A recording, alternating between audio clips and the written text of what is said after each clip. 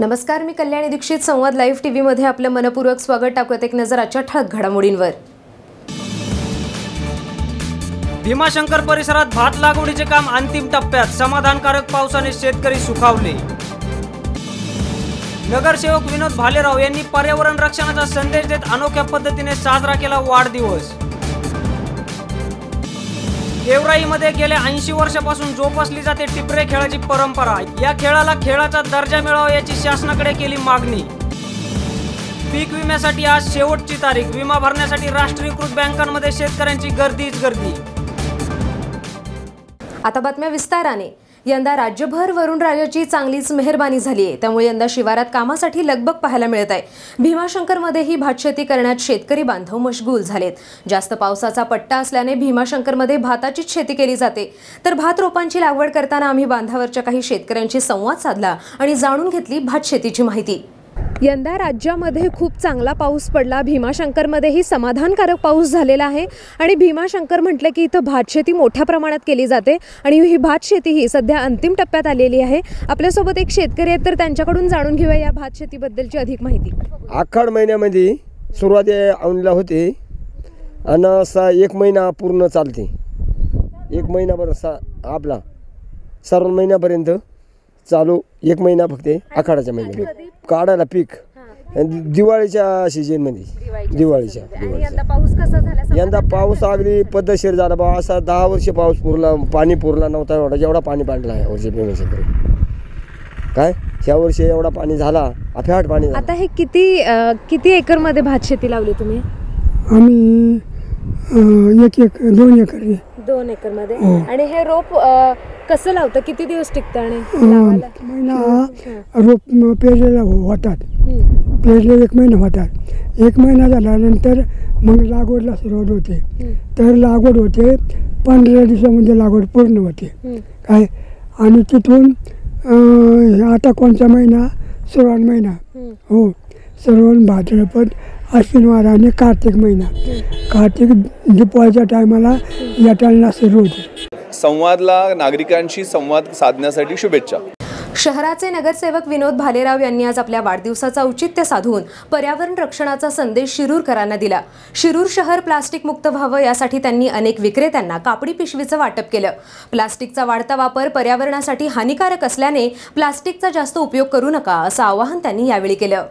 शिरूर नगरीचे सभागृह नेते मान्य प्रकाश शेठ धारीवाल यांच्या नेतृत्वामध्ये काम करत असताना शिरूर शहरामध्ये स्वच्छतेचा गहन प्रश्न या ठिकाणी निर्माण झालेला आहे. आणि प्लास्टिकच्या पिशव्या त्यामध्ये न कधी न नष्ट होणाऱ्या प्लास्टिक पिशव्या पर्यावरणाला धोकादायक ठरत आहे. त्यामुळं माझ्या वाढदिवसानिमित्त आमच्या मित्रपरिवाराने संघर्ष प्रतिष्ठानने प्लास्टिक मुक्त पर्यावरण शिरूर असं एक वेगळं अभियान या ठिकाणी राबवण्याचं नियोजन केलेलं आहे. त्या अभियानाअंतर्गत आम्ही लोकांना प्लॅस्टिक प्लास्टिक पिशव्या वापरू नका. प्लास्टिक पिशव्यापासून काय हानी होते व प्लास्टिक पिशव्यापासून पर्यावरणाला किती धोका निर्माण होतो हे आम्ही लोकांना समजून सांगत असताना या ठिकाणी या कापडी पिशव्या त्यांना आम्ही वाटप करत आहे व या का कापडी पिशव्या वापर करून त्यांनी घरामध्ये व इतर कुठेही जाताना कापडी पिशव्याच वापराव्यात. कापडी पिशव्या या साधारणतः खूप कमी किमतीत असतात व याचा वापर आपण जास्त दिवस यांना वापरू शकतो. या या या आव्हान आम्ही शिरूरकरांना करत आहोत. तरी शिरूर क शिरूरच्या तमाम जनतेला आमचं एक निवेदन आहे की त्यांनी प्लॅस्टिक मुक्त शिरूर करावं व प्लॅस्टिक बंद करून कापडी पिशव्या वापरून पर्यावरणाचा समतोल राखावा व शिरूर शहराला साथ द्यावी. जय नगरसेवक भालेराव यांनी त्यांच्या वाढदिवसानिमित्त एक स्तुत्य उपक्रम राबवला आहे. प्लास्टिकमुळे पर्यावरणामध्ये अनेक हानी होते. पर्यावरण प्रदूषण वाढतं. हे रोखण्यासाठीच त्यांनी शिरूरमध्ये आज त्यांच्या वाढदिवसानिमित्त अनेक विक्रेत्यांना कापडी पिशव्यांचं वाटप केलेलं आहे. आणि त्यामुळे नक्कीच पर्यावरणाला चांगली साथ मिळेल आणि पर्यावरण प्रदूषण टाळलं जाईल. हीच अपेक्षा होत आहे. कॅमेरामॅन सुरेशसह मी कल्याणी दीक्षित संवाद मीडिया शिरूर. आज शिरूर तालुक्यामध्ये संवाद लाईव्ह टी व्ही अत्यंत चांगल्या प्रकारानं काम करताना दिसतंय. न्यायभूमिकेतनं सगळ्या त्यांच्या बातम्या आज दाखवतात. तळागाळापर्यंतचे सामान्यांचे प्रश्न संवाद लाईव्ह वाहिनी दाखवती. त्या संवाद लाईव्ह वाहिनीला मी मनापासून खूप खूप शुभेच्छा देतो. धन्यवाद. श्रावणात अनेक सणावारांची लयलूट आपल्याला पाहायला मिळते. आणि यातच राज्यात अनेक ठिकाणी काहीशा वेगळ्या अशा चालीरीती पाहायला मिळतात. गेवराईमध्ये सुद्धा गेल्या तब्बल ऐंशी वर्षांपासून टिपरे हा खेळ खेळला जातो. नागपंचमीच्या दुसऱ्या दिवशी विविध वेशभूषा करून साखळी पद्धतीत हा खेळला जातो. या खेळात नवरा बायको जोडी कृष्ण शिवाजीराजे संत तुकाराम गोंधळी पोतराज पोलीस असे वेशधारी पाहायला मिळतात. गेवराई शहरात ऐंशी वर्षापासून हा खेळ उत्तुंग उत्कृष्ट असल्यामुळे हा नागपंचमी दुसऱ्याची दुसऱ्या जी भोलोबा दिवशी साजरा करण्यात येतो. आणि महाराष्ट्रामध्ये अशी कोणतीही नोंद नाही की ही गेवरा शहरामध्ये फार सुंदरसा मोठा हा देखावा इथं आपण साजरा केला जातो. आणि उत्कृष्ट हा महाराष्ट्रात फक्त गेवराई हे शहर आहे की इथे हा म्हणजे वेशभूषाहून देखील कार्यक्रम घेण्यात येतात.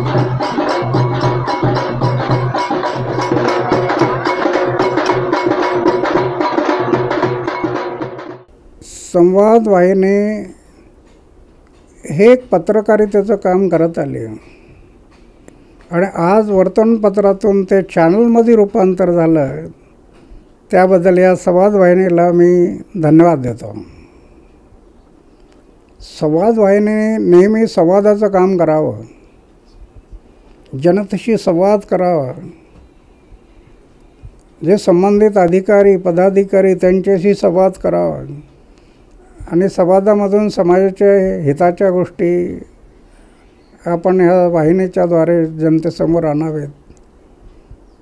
संवाद वाहिनी तिचं नाव आहे. तर त्या संवाद वाहिनीला मी धन्यवाद देतो. पीक विमा भरण्यासाठी मानवत आणि गेवराईमध्ये शेतकऱ्यांची एकच झुंबड उडाली आहे.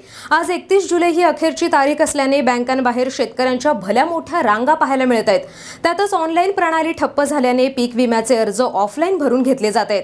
काल रविवार असूनही अनेक ठिकाणी बँका चालू ठेवल्याने तेवढ्याच शेतकऱ्यांना दिलासा मिळालाय.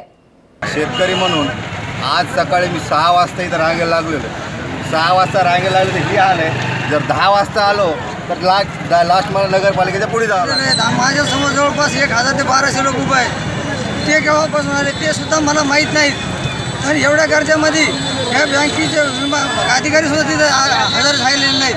तर आमचा नंबर लागेल कावा? याची विम्याची तारीख आम्हाला कमीत कमी दहा ते पंधरा दिवसांनी वाढवली सहा वाजल्यापासून आम्ही इथे बसलेलो बिना आणा पाण्याची ही पंधरा ऑगस्टपर्यंत तरी मुदत वाढून द्यायला पाहिजे. पोलीस प्रोटेक्शन नाही काही नाही. समजा लोक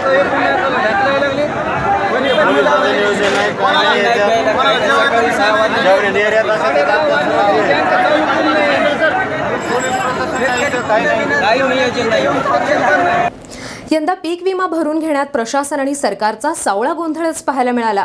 ऑनलाईन पीक विमा भरताना अनेक तांत्रिक अडचणींचा सामना करावा लागला. हेच नाही तर योग्य नियोजनाअभावी एका शेतकऱ्याचा रांगेत उभा राहून हाकनाक बळीही गेला. त्यामुळे आता तरी सरकारने संवेदनशीलपणे विचार करावा व पुढच्या वेळेस यथायोग्य नियोजन करावे म्हणजे पीक विमा भरून घेण्यास सुसूत्रता येईल. यासोबत हे बातमीपत्र इथेच संपलं. नवीन घडामोडी पाहण्यासाठी संवाद वाहिनी मोबाईल ॲप आजच डाउनलोड करा आणि आपल्या परिसरातील बातम्या जाणून घ्या. त्यासोबत तुम्ही यूट्यूबवर जाऊन आमच्या संवाद लाईव्ह टीव्ही चॅनलला सबस्क्राईब करा आणि आमचे अपडेट्स मिळवा. धन्यवाद. सर्वाधिक वितरण सर्वात कमी जाहिरात दर. आणि जाहिरातदारांचा सर्वाधिक फायदा फक्त इथेच.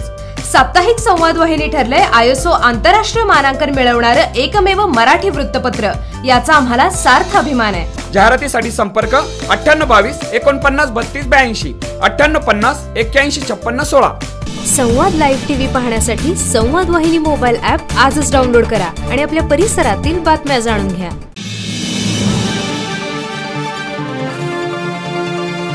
संवाद लाईव्ह टीव्ही आपला विश्वास आपलं चॅनल.